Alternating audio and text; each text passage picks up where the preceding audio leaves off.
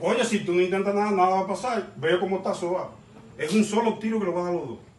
Siéntate ahí, siéntate ahí. Dime tú entonces. Graba, Ese es mi papá. graba, güey. Permiso, te hablé. Permiso, no te quiero matar. Pues tenemos un Deja hijo. eso. Tenemos un hijo, no te quiero matar. No te muevas, David, que yo sé quién tú eres. No te muevas. Yo sé quién tú eres. Te tengo dos meses ubicado. A ustedes dos. Siéntate, te estoy hablando. Tenemos un hijo, Pero siéntate. Yo te dije que mientras tenemos un hijo te voy a proteger. Que lo baje. Y Oye, lo que te voy a decir a ti, una sola cosa. Tú puedes coger la mujer de quien sea, no importa la que tú cojas.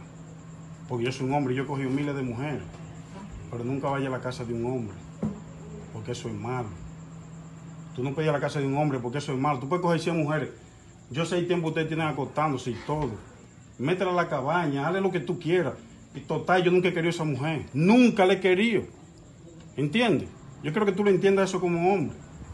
Y sobre esta tierra no hay un hombre más tigre que yo embute. Eso es mentira. ¿Tú sabes por qué yo a ti no te mato? Porque yo no voy a fracasar. Pues yo soy un tipo que tengo de dónde sacar el cuarto ahora mismo, lo que yo quiera. Y no me voy a arruinar tu vida por ese cuero, no me voy a arruinar mi vida. Pero eso que ustedes están haciendo, eso es malo. Eso no se hace.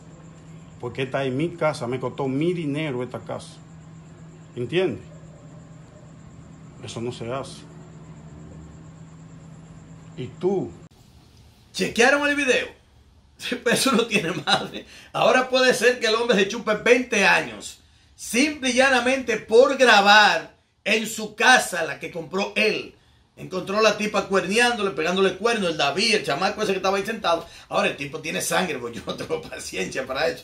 Y no le dio un tiro a ninguno de los dos. Dice un abogado en República Dominicana que se hubiesen matado los dos, tuvieron seis a- de 6 a 8 meses. Ahora va a chupar 20 y no lo mató. O sea que hay que dejar que la mujer le pegue cuerno uno, evitar unos problemas para evitar coger la cárcel. Pero esas son las cosas que están pasando en la República Dominicana. Bueno, y el coronavirus.